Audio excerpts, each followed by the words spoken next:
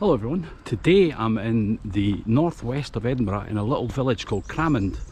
Now Cramond is possibly one of the most historical places in Edinburgh, um, dating back maybe 10,000 years. So I'm going to take you around the old kirk. I'm going to take you out to Cramond Island. I'm going to show you Cramond House, Cramond Tower, up the River Almond to the old iron mills and then we're going to finish at the statue of King James V who was attacked in 1532. So, uh, my location right now is Cramond Kirk. Now, this stunning looking kirk dates back to the 600s. Now, not in its original style. If you look to the left, you'll see a tower that was built in the 1300s and the castellated turret on top was added in the 1800s. You can see it's different stone and then the church to the right hand side of the tower was built in 1656 now the whole thing sits on the foundations of a church built in the 6 600s so quite been a church here for quite some time. And where we're actually standing is on the site of the old Roman camp which is just some of the foundations is just outside the uh, the kirk so I'm going to show you that right now for children. But like I said 10,000 years of history here. Quite incredible. Um, and the Roman occupation round about 140 AD 142 uh, there was a support this was just on the left here is the old Roman fort. And this would have been to like a garrison of maybe 600 men on a six acre site you can still see some of the original walls there, dating back 2,000 years. Quite incredible. Barracks over there. Not much to see, but you can see the foundations and the sort of scale of the place. So we're just looking at the side of uh, House, built in the 1700s by the Turfickin family. Quite a splendid looking place. And sitting right next to it is Cramond Tower. This stunning looking house. Tower house was built in the, I think it was the 13 or 1400s. Look at this. If you googled Scottish old house, that's what would come up. Isn't that absolutely majestic? Gorgeous. So now I'm going to head down out of here and I'm going to head down to Cramond foreshore and I'm going to walk across to Cramond Island and uh, you're in for a treat there. It's more recent history across there, uh, more more recent, more obvious recent history like World War One and Two, uh, but still spectacular. So I'm just going to head in this direction and turn right at the brown side. But already you're starting to see the delightful ancient village of Cramond and on the right hand side there we have the beautiful Cramond Inn. Excellent pub pub grub. Lovely to go for a nice wee walk on a Saturday or a Sunday going and get a pub lunch. So we're starting the walk across the causeway here and uh, definitely recommend decent footwear and rubbish clothes because it can get a bit mucky. I've got my walking boots on. So I'm now on the causeway and it's approximately a mile walk uh, from start to finish and on the right hand side there you can see the uh, teeth, concrete teeth and that was uh, to stop attack in the world wars, the two world wars from German boats and if you see the slots in the um, in the the side of it that would have been filled up with concrete see like there to provide a proper barrier. So as we approach the island only a few metres away now you can start to see the uh, first gun tower towers. There's two of them up there and what we're going to do is going to walk through the middle of the island. And then I'm going to come back by the west side of the island. There's a wee rocky path that you can come round. So here we have the first gun tower. Wow it's cool. What an amazing view. Obviously we'd have to have an amazing view but That's incredible. A wee flight of steps here. Oh wow, look at that. So cool. Ah, this looks quite easy. A broken step there, and we're in. Lots of graffiti. Wow. Oh, this is so cool. People have been sleeping out here.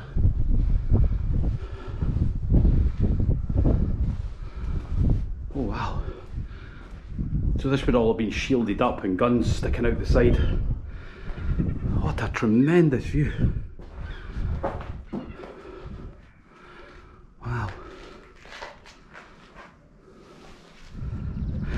So I've just climbed this little rocky uh, hill in the middle of the island here and the view is absolutely wonderful.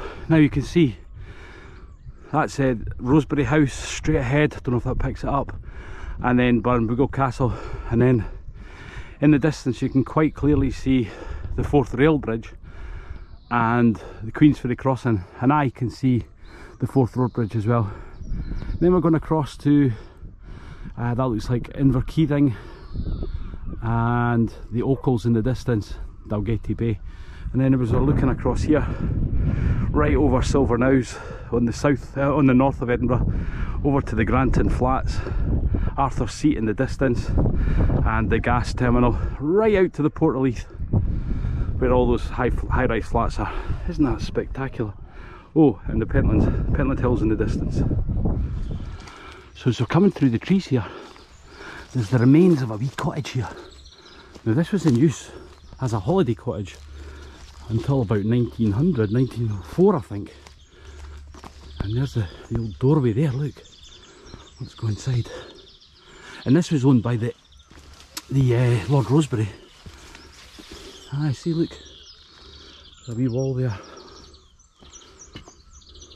An old fireplace or a stove or something like that. So cool. A wee room here. Oh, it's quite a decent size. There's a wall over there. A doorway there as well. And there. God, it's a big place. What an absolute waste. Imagine the money you could charge to rent this out. There's a over by those trees. There's a wall going right along there. This is fascinating. I'm in another wee room here, and another room. God, it's huge. Maybe that was a garden. Who knows? I'll need to do further research on this. There's another wee room there. Oi. And another room. So I'm now on the north of the island and I'm looking across to Inchmickery. Now that was called Battleship Island. If you notice there's a couple of chimneys in the middle, it's supposed to look like a battleship to fool the Germans in the World Wars.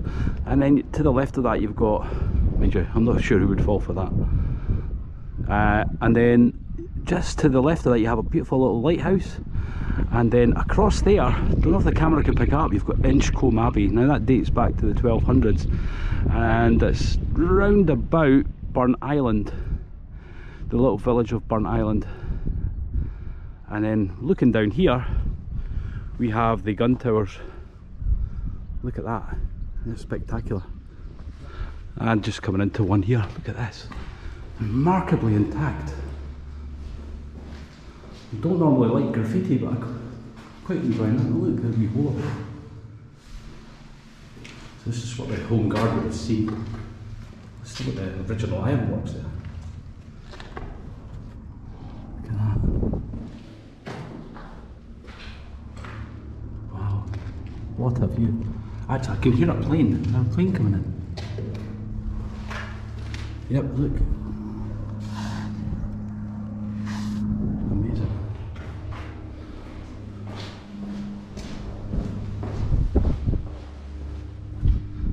I've got my binoculars with me, I'm going to actually have a look. It appears to be dozens of uh, little gun towers on Inchmickery Island. What a fascinating place. Yep, I'm going to get the binoculars out now. So I've done the gun towers now, I'm going to go around this west side of the island and there's ruins everywhere. Absolutely cool. Soundproof Future Scotland. It's amazing what some folk put as graffiti. Oh, there's a wee flight of steps here.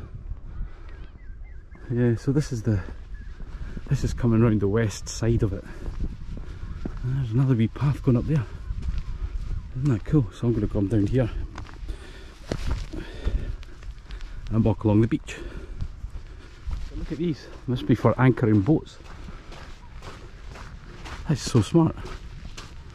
That's definitely what it's for. Huge concrete blocks just to, with the big chains on the side, look.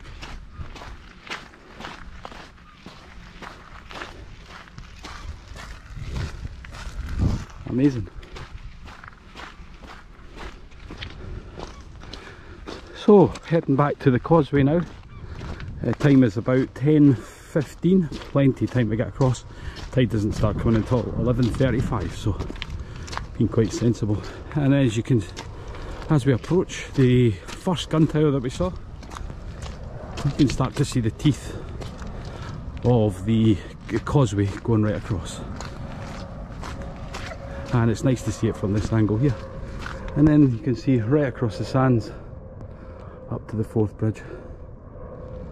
It's quite tempting to walk right across the Dalmeny house, but you don't know what dangers lie there. It could be quicksand or anything like that. So I'm going to walk straight back across the causeway and keep it sensible. So now we're just about back on dry land again. And I'll quickly spin round, see where we've come from. There, that's the one mile walk out to Cramond Island. Wonderful walk. Now I'm going to head up the side of the River Almond, which is a stunning walk in itself. And we'll come to the old iron mills on the way, amongst other things obviously. So walking up the River Almond, where we can see the Cramond Bistro on the left hand side here, it's part of the Cramond village. And uh, there's the maltings on the left hand side there.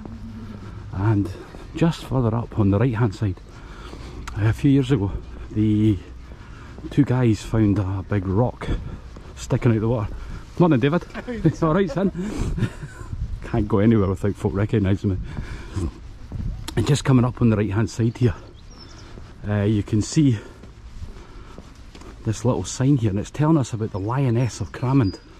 And basically, it was a huge rock. It's now in um, the Museum of Edinburgh, and it was a huge rock, and it's basically this thing here.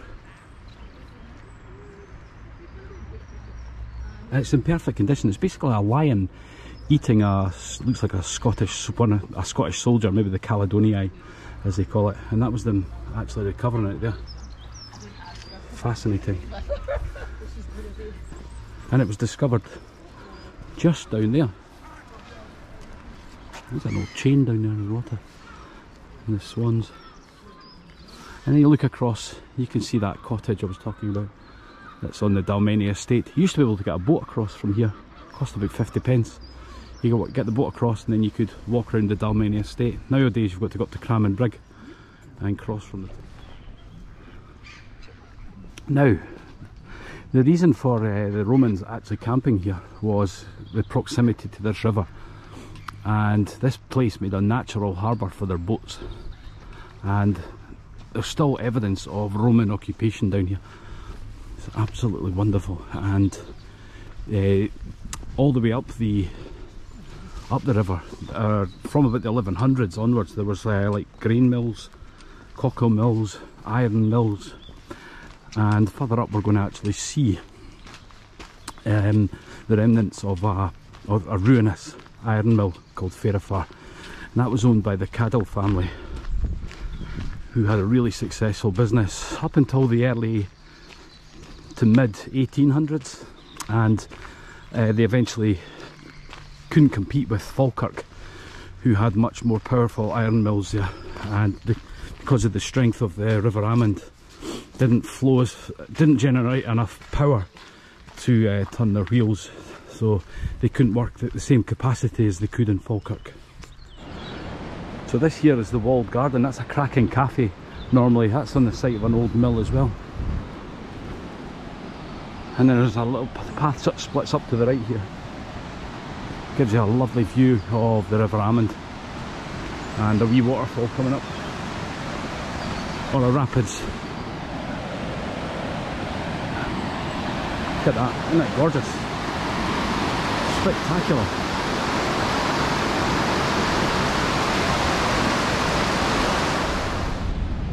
So after about a 10 minute walk along the River Almond I've come to the old iron mill the Fairafar iron mills what a splendid building. This dates back to the 1700s. Ah, here's an information board here. The ruined walls here are all that's left of Fairafar Mill from 1770. It was at the heart of Cramond's Industrial Revolution ship. Ships brought iron from Russia and Sweden to Cockle mill just downstream where it was refined and cut into strips. At Fairafar the walls reflected the fierce glow of the furnace and rang with the sound of a trip, a great trip hand. Fascinating. Let's have a look. And incidentally, you can see the, the weir through the wall there, the waterfall. But we'll come to that in a second. Look at this. There's the upper floor there. Quite incredible. Built in red sandstone, I think. You can see the scorch marks on the walls. Amazing. Look at this spectacular waterfall. I'm scared to call it a waterfall. Is that a weir or a waterfall? I don't know. But on the right hand side, you'll see a sort of modern construction, and that's actually a fish ladder. Amazing. Gorgeous. And then I suppose that would have turned a wheel on the side of this building here. Let's see if there's a remnants of the old wheel. Can't really see probably too dangerous.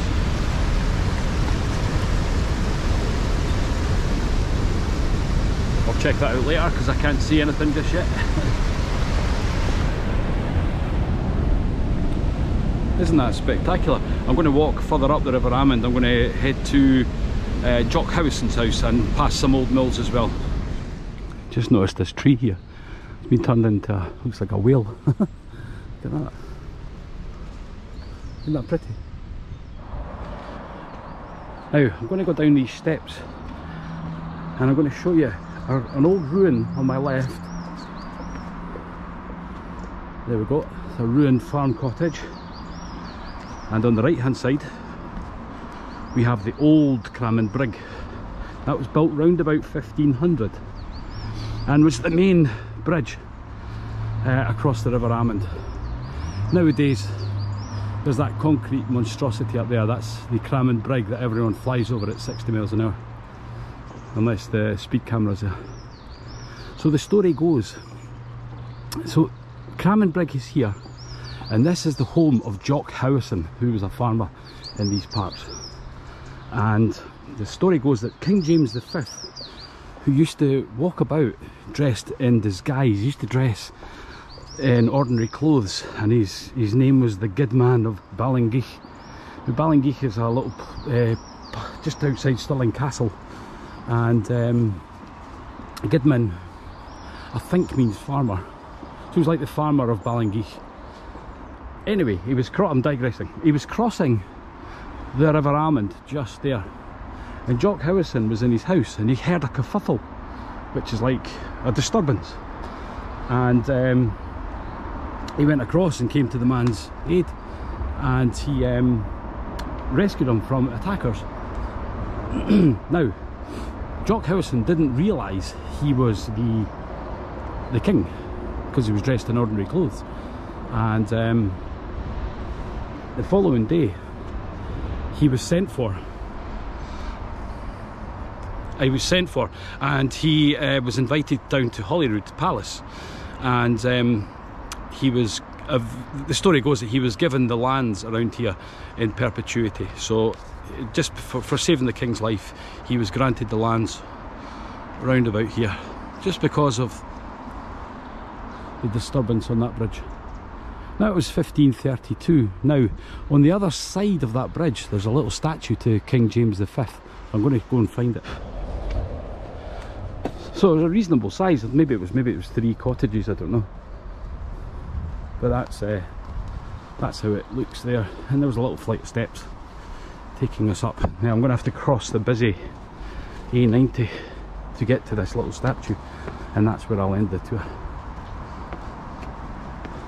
Goodness knows how old those steps are. so just along this little alleyway here there's a little courtyard. I'm not really meant to go in because it's private property. But this is where the statue is and it's a statue of King James V getting attacked by some vagabonds, some robbers. Last time I came here, a wee woman came running out, shouting, get off my land. But this is it here. So that's King James on his horse. And that is his attackers at the bottom there. Not a lot of people know that's here. 1532. Spectacular. Let's have a little walk up to it.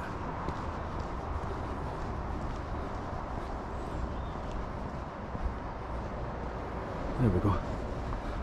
I'll get out before I get shouted at. King James not looking too happy and a broken dagger. Right, let's get out of here. so folks, hope you enjoyed my tour of Cramond, Cramond Island, the River Almond and the Jock Howison's farm. Uh, thanks very much for watching. Please, please subscribe to my channel. It would mean the world to me and uh, makes things better for me. So thanks very much for watching and catch you next time. Thank you.